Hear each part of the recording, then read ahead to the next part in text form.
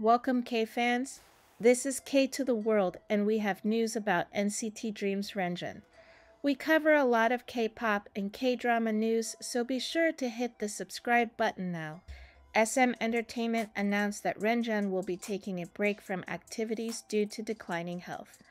The news comes on the heels of recent fan concerns about Renjun's appearance.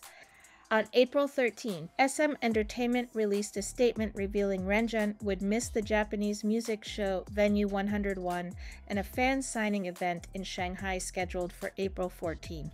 Citing a worsening of his physical health, the agency prioritized Renjun's well being, stating, Renjun is currently resting, and we plan to consider the artist's recovery as our top priority and manage his future activities in a flexible way.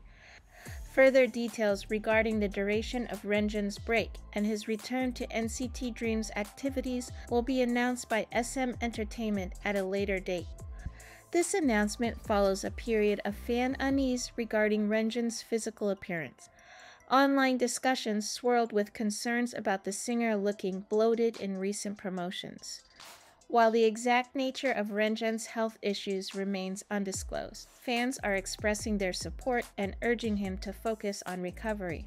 Fans are flooding social media with messages using the hashtag HashGetWillSoonRenjun, offering their love and wishing the singer a speedy recovery.